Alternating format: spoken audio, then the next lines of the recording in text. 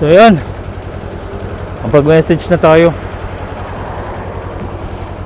And this will be a great experience kasi nga first time kong mag mag rides.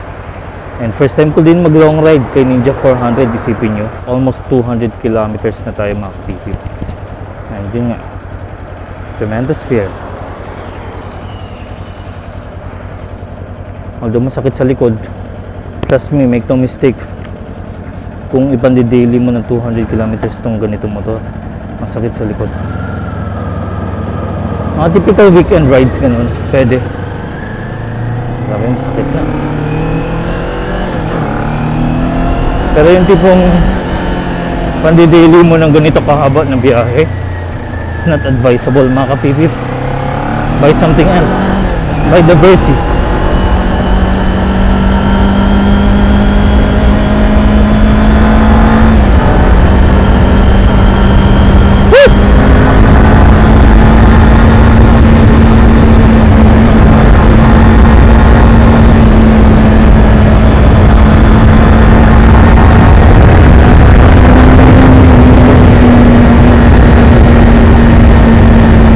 sakit na sa likod grabe.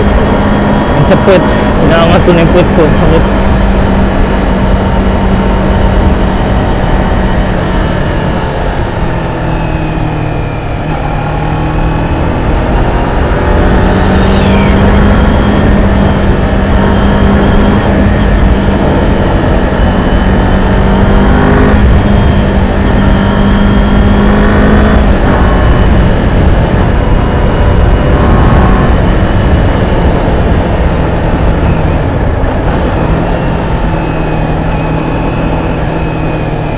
far di pa naman ako binibigo ng brakes na to.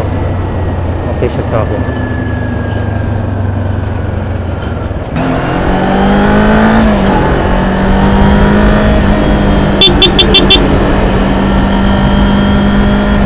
Hindi ka nyo na. Gusto nyo kumaliwa. Wala naman sa signal. Ano magagawa natin? Sarap na tunog. Ewan ko kung bakit marami, nagre-reklamo sa stock nito pero masarap naman yung tunog niya. Ayun Okay naman sa akin yung tunog niya. Not bad. Not great, pero not bad. Pero maririnig mo, kasi sabi mo talagang ninja siya. Kung sabi mo pang racing yung makina niya.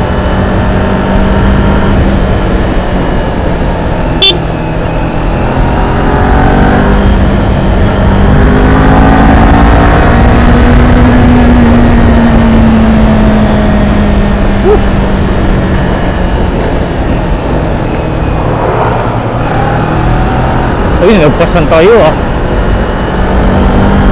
Ibatin na ba natin? Ito.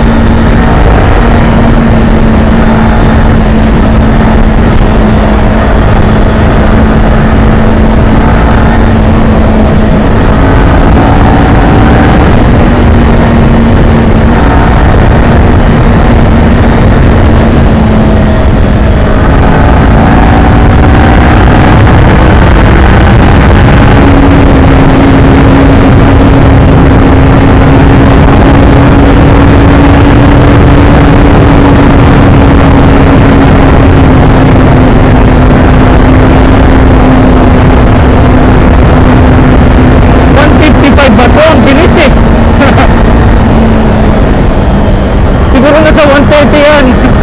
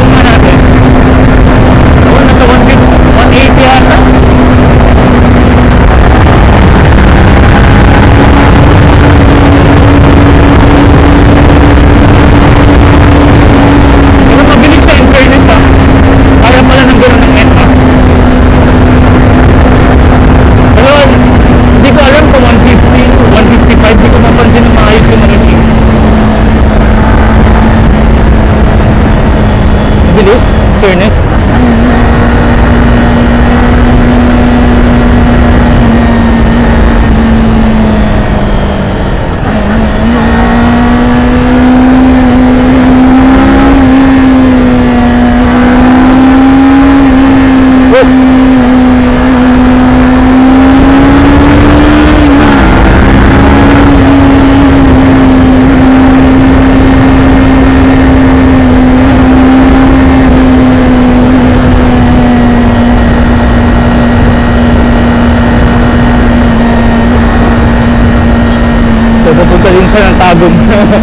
sa likod ko siya ngayon, may angkas.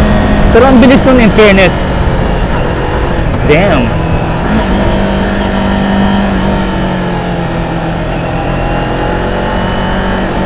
Sunrise.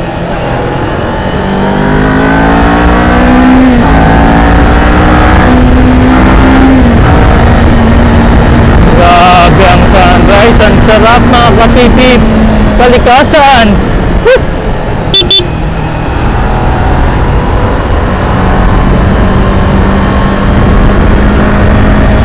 Kalikasan mga kabibig. Are you seeing this? Kalikasan kahit na sunrise lang eh. Anyway, the view is beautiful. Kasing ganda ng asawa ko.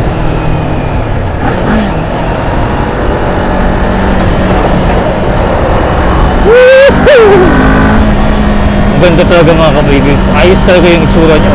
Hanep.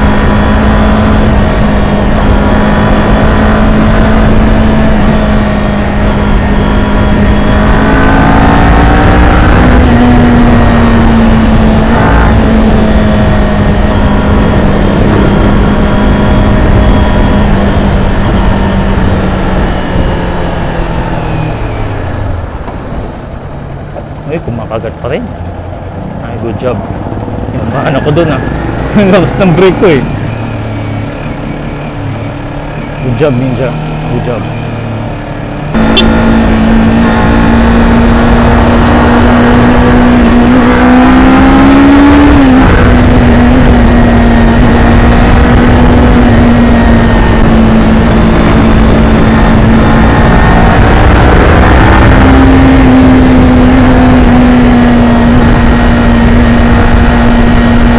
Sniper ba yan o, o Raider? Ganda ng turmahan niya oh.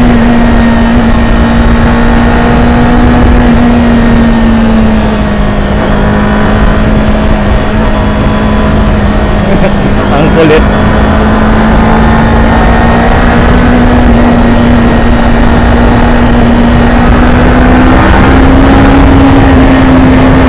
Ah, sniper?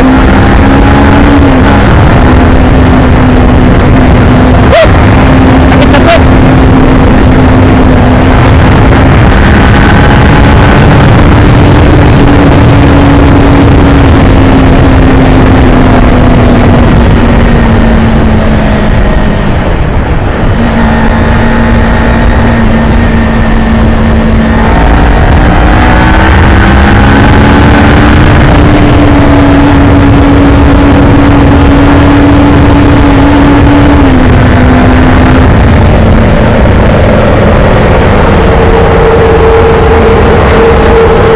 Ako, mag-swing to ah.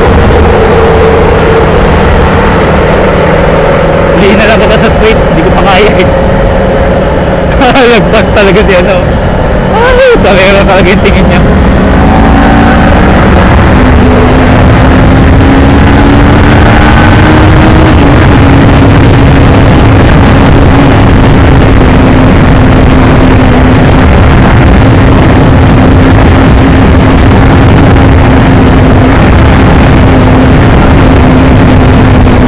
overpowered sa mga kapilip.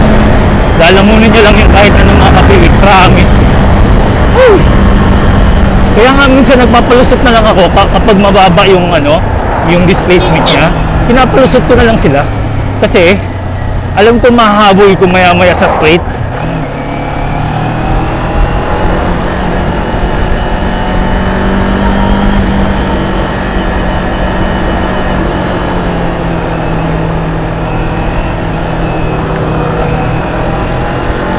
Tulad yan, oh.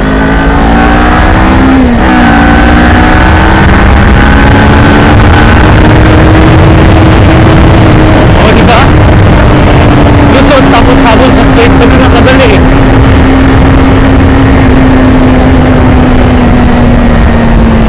Eh, hindi problema sa akin magpalusot.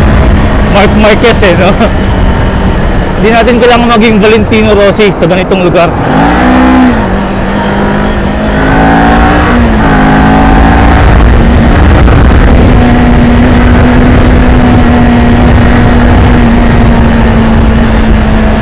Di pa ako nakakakita mga kabibig, di pa ako nakakakita ng yung tipong alanganin ako.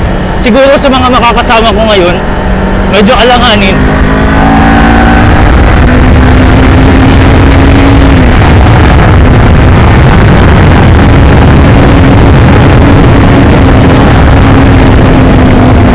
Kasi sa mga makakasama ko, lagpas 400cc sila mga kabiring.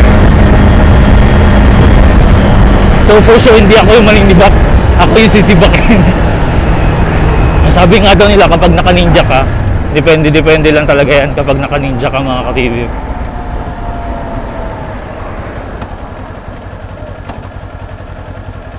Yung taas nito. Ay, dito, dito. Sorry. Morning. Oh, uh, North Cotabato din. Ah, asan? Kitapawan. Kidapawan. Ah, malapit lang din ako doon. Where are you going? Sorry? Where are you going? Kawasaki Crib Tagum.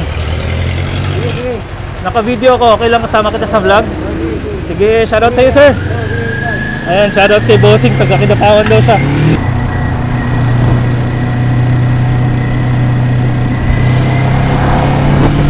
Lapit na rin ako.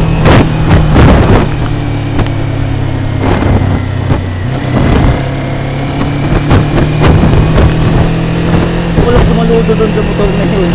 Hindi nga yung pagsabayan siya. So yan mga kabibib while waiting um, to the others. Uh, big shoutout nga pala to this guy.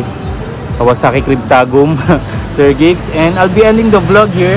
You wait for the part 2. Gawa na lang natin ang part 2 kasi mahaba tong vlog na to eh. So ayan mga kabibib, if you see.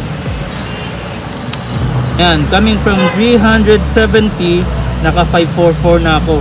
So like I said, bubu bubuuin ko yung um, 1,000 kilometers niya kasi um, bukas, one month na siya.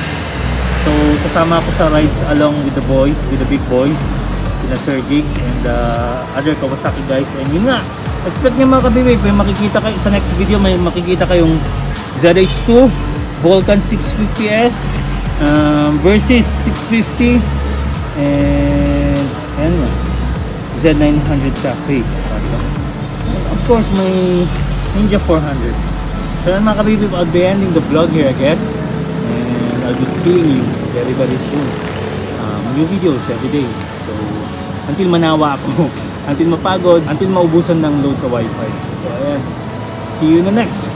Peace!